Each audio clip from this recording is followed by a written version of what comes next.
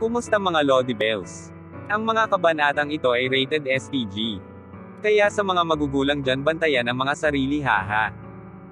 Kabanata 64. Panibagong asawa. Hindi din nagtagal ang lahat ng tauhan ni Douglas. Kahit sabay-sabay pa silang umatake hinding hindi sila makatama kay Bill at agad silang nawawala ng malay kahit madempian lamang sila ng daliri ni Bill. Isa-isang natamba ang lahat ngunit hindi sila patay. Nilagyan sila ng sumpa ni Bill. At ang sumpang ito ay may mga panuntunan pag sa oras na magising sila agad silang tatalon sa dagat ng walang saplot at mananatili sa dagat hanggang mawala ng buhay. Dahan-daang lumapit si Bill kay Douglas na nakatayo at tila nanigas na sa kanyang pwesto. O Diyos ko patawarin ako sa aking nagawa. Ika ni Douglas nang makalapit si Bill sa kanya. Kaninong Diyos ka humihingi ng tawad? Tanong ni Bill. Sa iyo aking Diyos. Sagot ni Douglas. Ako ang Diyos ng sumpa at kalamidad hindi ako mapagpatawad na Diyos. Ika ni Bill sa kahinawakan ng ulo ni Douglas. Simula ngayon sa tuwing bubuksan mo ang iyong mga mata makikita mo ang impyerno at ang mga masasamang tao na kagaya mo na naging demonyo. At pag pinaikit mo naman ang iyong mga mata agad mong mararamdaman ang sakit ng iba't ibang kamatayan. Ika ni Bill sa kabinitawan si Douglas. Pagbitaw ni Bill agad na humiyaw si Douglas sa takot. Nakita nga ni Douglas ang impyerno at agad na pinaikit ang kanyang mga mata. Pagpikit niya agad siyang napahiyaw sa sakit. Hawa!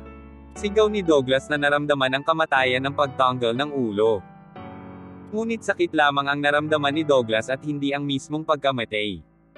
Kaya mas grabe ito kesa sa mamatay.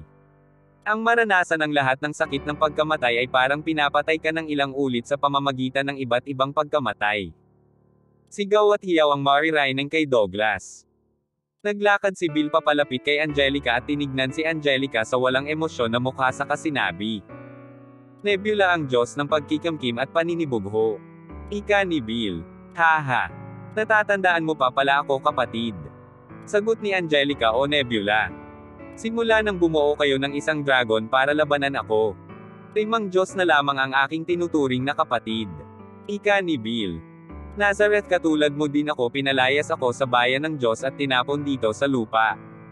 Ayon kay Nebula. Nagkakamali ka, hindi ako pinalayas umalis ako ng kusa sa bayan ng mga Diyos. At lalo hindi ako katulad mo pinatapon ka sa lupa dahil gusto mong kamkamin ang lahat ng banal na barya. Pilit akong binabalik sa bayan ng Diyos habang ikaw sinusuka ka na ng iyong mga kapatid. Bigkas ni Bill. Nazareth sabay nating labanan ang mga Diyos na iyon. Ayon kay Nebula. Hindi ako si Nazareth ako si Bill Cloelite. Ika ni Bill sa kahinawakan ng ulo ni Nebula. Isinusumpa kita sa tuwing titibok ang iyong puso makakaramdam ka ng sakit ng ulo. Ika ni Bill sa kabinituan si Nebula. Ngunit hindi hinayaan ni Nebula na mabuhay sa sumpa kaya agad niyang kinuha ang isang gintong barya. Kapatid kong Diyos ng gamot at pagpapagaling tanggalin ang lahat ng sakit sa akin. Kapalit ng banal na baryang ito ay ang iyong mapagpalang gamot. Ika ni Nebula sa kahinagis ang barya. Isang liwanag na naman ang biglang lumabas galing sa langit at tinamaan ang barya papunta kay Nebula. Pagputok ng liwanag agad na nang laho si Nebula. Hindi na inintindi ni Bill kung saan man pumunta si Nebula. Agad siyang bumilis at nagpunta sa kanyang mga asawa. Mga asawa, Tita, Jacob, James, Edward at Master Rim. Maraming salamat sa inyo. Ika ni Bill sa kayumuko sa lahat. Agad namang yamakap ang mga asawa ni Bill sa kanya at agad siyang pinaghahalikan sa pisngi. Sandali muna ika ni Bill sa kanilahad ang kanyang mga kamay at agad bumuo ng dalawang gintong barya. Ikaw na Diyos ng gamot at pagpapagaling ng kahit anong karamdaman. Pagalingin ng dalawang tao kapalit nito ang banal na barya. Isa ang Diyos ng gamot at pagpapagaling sa bumuo sa dragon kaya hindi tinuturing ni Bill na kapatid ito. Kaya ang kanyang sinabi ay utos at hindi hiling. Ngunit kahit ano pa man hindi pwedeng tanggihan ng mga Diyos ang hiling o utos ng mga Diyos na naghahadjas ng banal na barya. Paghagis ng barya sa ere agad muling lumabas ang dalawang ilaw papunta kay Master Rim at Gina. Pinagaling ang paningin ni Master Rim at pinagaling din ang sakit ni Gina. Agad na nakakita si Master Rim at agad ding naramdaman ni Gina na umayos ang kanyang pakiramdam sa pambabang katawan.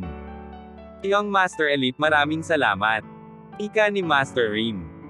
Master Rim ikaw ang aking guro at napakalaki ng tulong mo sa akin hindi ko hahayaang mapunta sa wala ang iyong kabutihan. Ika ni Bill. Si Gina ay dahan-daang lumapit kay Bill saka umiiyak na lumapit kay Bill. Asawa maraming salamat sa iyo matutupad na ang pangarap kong magkaanak. Ika ni Gina sa kaniyakap si Bill. Agad na bumuo si Bill ng mga gintong bola na gawa sa dugo at isinalin ito sa lahat. Asawa ano ito?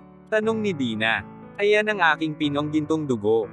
Kailangan ninyo ng proteksyon sa lahat ng oras. Lalo na sa inyong mga nagdadala ng aking mga anak. Kailangan ninyo ng karagdagang proteksyon. Sa tulong ng aking dugo hindi kayo basta-basta mamamatay o masusugatan. Ika ni Bill saka binigyan din si Sayana ng gintong dugo. Maging si James, Edward, Jacob at Master Rim. Lumapit si Bill kay Michelle saka sinabi. Tiya ako ay lubos na nagpapasalamat sa iyo. At sa iyo din po lang Lazarot na buhay ka ng napakatagal, ngayon tanggapin mo ang aking dugo bilang pabuya. Ika ni Bill saka sinubo kay Maya ang isang gintong dugo. Pag-inom ni Maya ng dugo ni Bill agad na tumingkad ang kulay pulang balahibo ni Maya at nagkaroon na din ito ng gintong pilak mata. Agad na lumipad ang dalawang Lazarot sa ere at tila naglalaro sa sobrang saya. Tiya ang gintong dugo ko na taglay mo ay panatilihin lang sa iyong katawan. Ika ni Bill saka binigyan din si Michelle ng isang gintong dugo. Boom! Pumutok ang kulay gintong ore kay Michelle at agad itong nakaramdam ng kagaanan na parang lumilipad. Maraming salamat pamangkin. Ika ni Michelle saka niyakap si Bill. Bill magpapakasal kami ni James pagpunta natin sa Europa. Bigkas ni Michelle. Mamaya na natin pag-usapan yan tita umalis na muna tayo marami ng mga tao ang parating. Ika ni Bill saka naglakad papunta kay Sayana at binuhat ito. Agad na umalis ang lahat. Si Sayana na buhat-buhat ni Bill ay sumakay kay Lazarot na dating Larion at nagpalit sa anyong helicopter. Lahat ay napunta sa bahay na I at doon nagsimulang pag-usapan ang lahat. Si Sayana ay dinala ni Bill sa isang bakanteng kwarto sa bahay na I. Tumingin lahat kay Bill saka nagtanong si Candy. Bill ikaw ba talaga yan? Tanong ni Candy. Ako nga wala nang iba, bakit nagtataka ka ba? Tanong ni Bill. Oo, mamaya ikaw si Atlas o Nazareth naniniguro lang ako. Ika ni Candy. Tuluyang nawala na si Atlas at Nazareth tanging alaala na lang nila ang natira. Ika ni Bill. Bill bakit kayo magkasama ni Miss Mendez? Tanong ni Celestina. Hindi ko alam na sinusundan niya ako. Hindi ko din alam kung ano ang tumatakbo sa kanyang isipan at kailangan niyang ayalay ang kanyang buhay para sa akin. Ika ni Bill. Mukhang madidagdagan na naman tayo guys ika ni Candy sa kasumimangot. Candy hayaan muna kung hindi din dahil kay Miss Mendez siguro ay wala na si Bill ngayon. Ika ni Dina. Sas. Hindi ko maiwasan ang babaeng iyon ay sobrang ganda. Kung naging lalaki lang ako hahabulin ko siya hanggang sa pagtanda. Ika ni Candy. Ha ha ha. Agad na nagtawanan ang lahat. Ngunit hindi din nila inaasahan na ang pinag-uusapan nila ay nakikinig sa kanila. Tanging si Bill lang ang nakakaalam na gising na si Sayana kaya nais niyang magsabi ng isang salita para hindi dumagdag si Sayana sa kanyang asawa. Ayaw din ni Bill na mapahamak si Sayana. Ngayong napagdesisyonan na niya na kalabanan ang mga Diyos na gumagawa ng plano para burahin ang sangkataohan ay masyadong delikado para sa magiging asawa o malapit kay Bill. Huwag kayong magbiro. Gaya ng sinabi ninyo masyadong maganda si Miss Mendez. Isa pa masyadong delikado ang maging isa sa asawa ng elite. Lalo na at guro ko si Miss Mendez. Ika ni Bill sa malakas na tono upang marinig ni Sayana. Pero Bill nalagay na sa panganib ang buhay ni Miss Mendez at sa kanyang huling hininga inamin niyang mahal kanya. Kung babaliwalan mo ang kanyang nararamdaman para muna naman siyang pinatay. Bigkas ni Dina. Walang Diyos-Diyos pagkausap ni Bill ang kanyang mga asawa. Lalo na ganitong diskesyon hindi uobra ang pagiging Diyos ni Bill. Pero bawal pa rin ang relasyon ng guro at estudyante. Ika ni Bill. Nako Bill tigilan mo hangga kami. Walang bawal-bawal sa'yo. Ika ni Candy. Bill, hindi kami magagalit at alam na namin ang totoo. Ika ni Lily. Anong totoo? Tanong ni Bill sa naguguluhang tono. Sabi ni Brie na May 15 kang asawa. Sagot ni Lily. Huwag kayong maniwala kay Brie. Nagloloko lamang siya ika ni Bill. Sige na at magpahinga na kayo ika ni Bill. Jacob, Master Rim, Edward, James at Tita Maiwan kayo. Ika ni Bill sa kahinalikan ng kanyang mga asawa at pinatulog na ang mga ito. Naiwan din si Celestina dahil araw niya ngayon. James at Edward ngayong tapos na ang misyon ninyo tungkol sa pagtuklas ng gamot sa aking gintong dugo nais ko sanang bigyan kayo ng pagkakataon na magbakasyon kung nais ninyo. Maaari kayong mauna na sa Europa kasama si Tita Michelle. O kung gusto ninyo tatapusin kulang ang sport festival saka tayo sabay-sabay na pumunta. Tanong ni Bill. Kuya, hindi malibayaw pala. Pamangkin. Hindi ko din alam ang itatawag ko sa iyo young master. Bigkas ni James. Tawagin ninyo ako sa pangalan walang kaso sa akin iyon.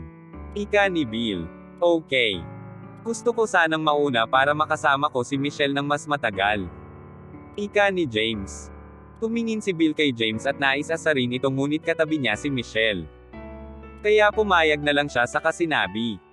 Okay sige pumapayag ako. Master Rim at Edward gusto ba ninyong mauna na rin? Tanong ni Bill. Iyong master andito ako para protektahan ang iyong mga asawa kaya kung kailan sila aalis ganun din ako. Ika ni Master Rim. Ako ding young master. Ayoko namang maging chaperone. Bigyan natin sila ng oras para sa isa't isa. Bigkas ni Edward. Ikaw tita ano ang desisyon mo? Tanong ni Bill. Kailangan kong bumalik sa Europa sa makalawa kung gayon mauuna na kami ni James. Bigkas ni Michelle. Jacob nais ko din sana kayong ayain at ipapakilala ko kayo ni Dominic sa aking lolo at lola. Ika ni Bill. Ayos ito pwede ka ang isama si Emma? Tanong ni Jacob. Oo walang problema. Ika ni Bill sa katumayo at naglakad. Bill saan ka pupunta? Tanong ni Celestina. Mauna ka na sa kwarto kailangan kong bigyan pa ng kaunting dugo si Miss Mendez. Ika ni Bill. Sige ho antayin kita sa kwarto. Ayon kay Celestina sa kaumakyat sa taas para magtungo sa kwarto ni Bill. Maging ang iba pa ay nagtungo na rin sa kani-kanilang kwarto at nais ng magpahinga. Si Bill ay pumasok sa kwarto ni Sayana sa katinitigan ang mukha ni Sayana. Alam na ni Bill na gising na si Sayana ngunit hindi niya ito sinabi at nagpanggap lang na wala siyang alam. Nagsalita si Bill at inumpisahan ang kanyang pagsisilita sa pamamagitan ng pasasalamat. Sayana, maraming salamat sa lahat. Maging ang buhay mo ay iyong tinaya para maligtas ako. Ngayon sasagutin ko ang iyong mga tanong noon. Ako at si Mysterious Guy ay iisa. Ika ni Bill sa kaumupo sa kama ni Sayana sa kainayos ang buhok ni Sayana. At nagpatuloy. Totoo din na ako ay isang elite. Napag-alaman ko lang ito noon nang namatay ang aking lolo. Kung itatanong mo kung sino at ano ako. Ako peren ang Bill Clo noon na lagi mong lihim na tinutulungan. Lahat ng ginawa mo ay alam ko. Kagaya ng pagiging late ko sa klase para sa susunod na leksyon. Alam kong gumawa ka ng kwento para pagtakpan ako. Kaya kahit malate ako o mag-absent hindi na lalagyan ng pagliban ang aking mga marka. Ika ni Bill saka nagpatuloy. Nagpaliwanag si Bill ng halos 30 minuto. Agad na tumayo si Bill nang matapos siyang magpaliwanag kay Sayana. Ngunit bago pa nakaalis si Bill agad na nagsalita si Sayana at nagtanong kay Bill. Paano kung mahal na nga kita anong say sagot mo? Tanong ni Sayana. Kung bilang individual hindi ko masusuklian ang pagmamahal mo. Sigurado akong madami pa dyan na iba na handa kang mahalin ng buo at hindi katulad ko na may mga asawa at magkakaanak na. Ayon kay Bill na nakatalikod kay Sayana. Bill. Inali ko ang buhay ko sa'yo kahit pa alam kong wala kang nararamdaman sa akin. Pwede bang mahalin lang kita kahit hindi mo ko mahal at hayaan lang ako na mahalin ka hanggang sa mawala ang pagmamahal ko sa'yo? Tanong ni Sayana. Boom. Ngunit sa pagkakataon na ito biglang bumukas ang pinto ng napakalakas. Alam na ni Bill na maraming tenga ang nakikinig sa usapan ni Bill at Sayana. Kaya nang bumukas ang pinto hindi na siya nagulat. Tumambad kay Bill ang pito niyang asawa na tila galit at may luha pa ang iba sa kanilang mga mata. Lumapit ang pito kay Sayana at sinabi ni Candy kay Bill ang mga salitang inasahan niyang kay Candy manggagaling. Bill, tumigil ka nga sa pagiging narcissist mo. Hahayaan mo ang magandang babae na mahalin ka kahit na alam mong mahal ka niya pababayaan mo lang. Aba gwapong gwapo ka ata sa sarili mo pag nangyari iyon. Ika ni Candy. Alam ni Candy na hindi ganon si Bill. Ngunit sinabi niya ito bilang asar para lang ma-provoke si Bill. Tila nagtagumpay nga si Candy sa pang-asar kay Bill at kumislot ang kilay ni Bill sa sinabi ni Candy. Narcissist. Gwapong gwapo. Ha, hindi ko alam ang say sagot ko sa'yo. Ika ni Bill na nakangiwi ang bibig. Bill itigil mo ang pagpapalayo kay Miss Mendez. Kung mapunta siya sa iba at saktan siya ng taong iyon anong mukha ang may haharap mo kay Atlas?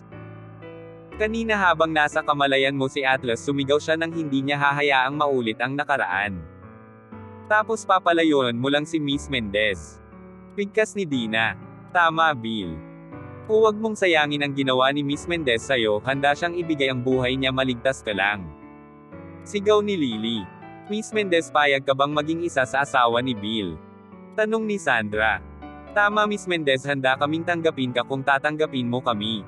Tanong ni Daisy. Kailangan ni Bill na magtuturo sa kanya ng tamang asal Miss Mendez dahil guro kanya maaaring disiplinahin mo si Bill sa paraan ng mga guro. Bigkas ni Gina. Guys. Tawagin na lang ninyo akong Sayana. Ika ni Sayana na kanina pabalisa sa pagtawag sa kanya ng mga ito na Miss Mendez. Sayana kung nag-aalinlangan ka. Dahil sa dami namin huwag kang mag-alala pantay-pantay ang pagtrato namin sa isa't isa para na kaming iisa at hindi kami nagseselos kung may pakitunguhan man si Bill ng iba sa amin. Diba Candy at Gina? Tanong ni Celestina. Hindi naman manhid ang iba sa mga asawa ni Bill. Alam nilang nasa puso sila ni Bill ngunit mas lamang talaga ang pagtingin ni Bill pagdating kay Candy at Gina. Teka teka magkakampi tayo dito si Bill ang kalaban natin ngayon. Ayon kay Candy na halatang nahihiya. Ha ha ha. Nagtawanan ang lahat maliban kay Sayana at Bill na hindi alam at walang ideya sa pinag-uusapan ng lahat. Agad na lumapit ang pito kay Bill hatek-hatek si Sayana sa kasinabi kay Bill. Huwag mong hayaan na mawala sa iyo ang mga taong handang ayalay ang kanyang buhay para sa iyo. Ayon sa lahat, si Bill ay napangiti ng bahagya sa kasinabi. Wala talaga akong panalo pagdating sa inyo. Ika ni Bill sa kakinuha ang kamay ni Sayana at nagpatuloy. Kung handa kang tahakin ang landas na tinatahak ko handa akong samahan ka basta hindi mo ako iiwan. Ang maging isa sa asawa ng elite ay nangangahulugan ng kamatayan. Kung handa kang mamatay para sa akin handa akong mamatay para sa iyo. Kung papayag ka maaari tayong magsama kasama ang iba at ikasal sa bundok ng Teran. Papayag ka ba?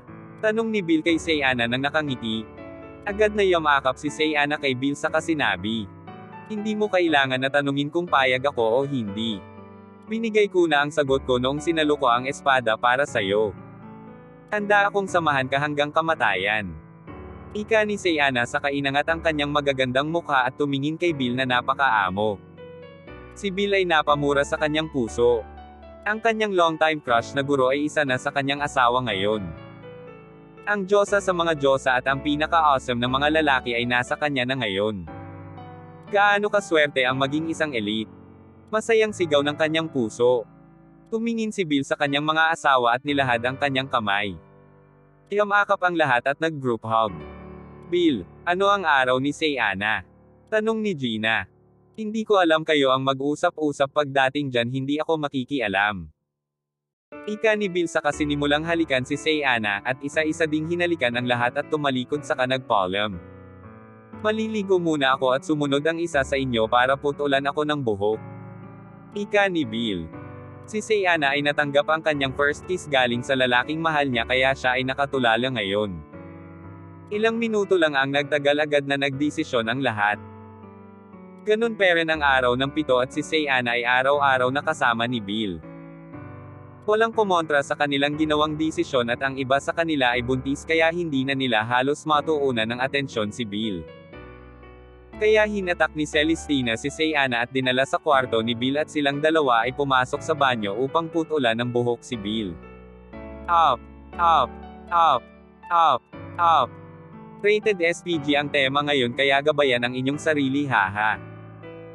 Sa mga ayaw ng ganitong tema maari ay paki-fast forward na lang ang temang ito maraming salamat mga Lodibels. Paalala ang kwentong ito ay pawang kwento lamang na nilikha ni Madreader. Kaya sana ay pakinggan lang ito at ang mga tagpong hindi ka nais-nais ay huwag gayahin. Maraming salamat ulit mga Lodi Bells Mua Mua. Tuloy na natin ang kwento. Pagpasok ni Celestina at Sayana sa banyo nakita agad ni Sayana ang katawan ni Bill na perpekto. Ang katawan ng Diyos ni Bill. Agad na nagtanggal ng damit si Celestina. Ang damit ni Sayana ngayon ay may butas at mga dugo dahil sa pagsaksak sa kanya ni Angelica. Ngunit nahihiya siya na maghubad at ipakita ang kanyang katawan kay Bill. Si Sayana ay isang Maria Clara na babae at ang kanyang panuntunan ay kasal muna bago pakikipagtalik. Ngunit para sa kakaibang henerasyon ay ang pakikipagsama sa kanilang mahal ay nangangailangan ng ganitong pakikipagtagisan ng pawis sa isa't isa. Lumingon si Bill at agad na nakita si Celestina na nakahubad. At si Sayana na nakayuko at ang kanyang mukha ay pulang-pula. Kaya agad siyang lumapit kay Celestina at sinabi kay Sayana. Huwag mong pilitin ang iyong sarili Sayana maaari kang maligo sa kabilang banyo at suotin muna ang aking mga damit. Ika ni Bill sa katinignan si Celestina na sinisimula ng panasa ng basang bimpo ang dugo na namuo sa katawan ni Bill. Lumabas si Sayana sa kahihiyan at ang kanyang hininga ay tila napakabilis maging ang kanyang puso ay hindi maawat sa pagwawala sa kaba. Nanginginig din ang kanyang buong katawan maging ang kanyang mga bunganga. Kaya agad siyang nagtungo sa kabilang banyo at sinimulang linisin ang kanyang katawan at paliguan ang kanyang sarili. Limang minuto lang ang lumipas at agad narinig ni Sayana ang hiyaw ni Celestina na tila nasasarapan sa kanyang ginagawa. At nagsimula na naman manginig ang katawan ni Sayana dahil sa naririnig niyang hiyaw ni Celestina.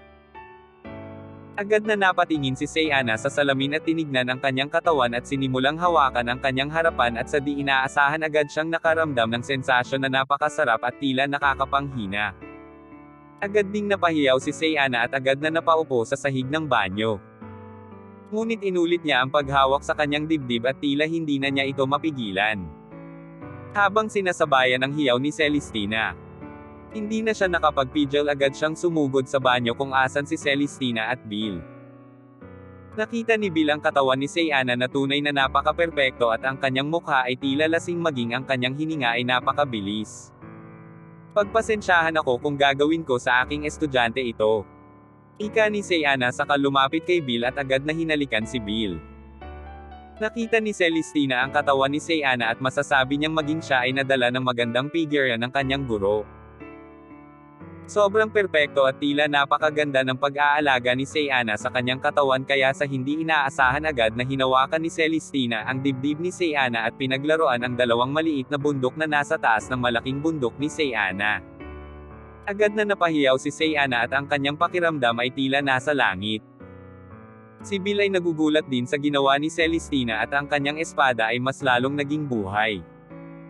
Unti-unting dinilaan ni Celestina ang dibdib ni Sayana at hindi maubos na hiyaw ang binibigay ni Sayana. Pagtapos ni Celestina dilaan ang dibdib ni Sayana. Agad siyang nagtungo sa espada ni Bill sabay hinawakan ito at tinutok sa kwebe ni Sayana. Dahil ang birhen na si Sayana ay walang karanasan agad siyang napaiyak at humagulgol. Si Celestina ay pinagpapatuloy ang pagdila sa dibdib ni Sayana at tila inuumpisahan na paglaruan ang kanyang sarili. Masyado nang nagiging wild ang tagpo at agad naging mayabong ang buong eksena. Hindi na mabilang ni Bill kung ilang beses niyang pinakawalan ang kanyang mga kampon kay Sayana at Celestina. Ilang oras silang namalagi sa banyo at nakalimutan ng gupitan ang buhok ni Bill.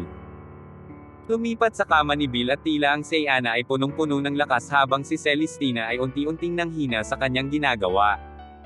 Nakatulog si Celestina habang si Sayana at Bill ay nagpatuloy.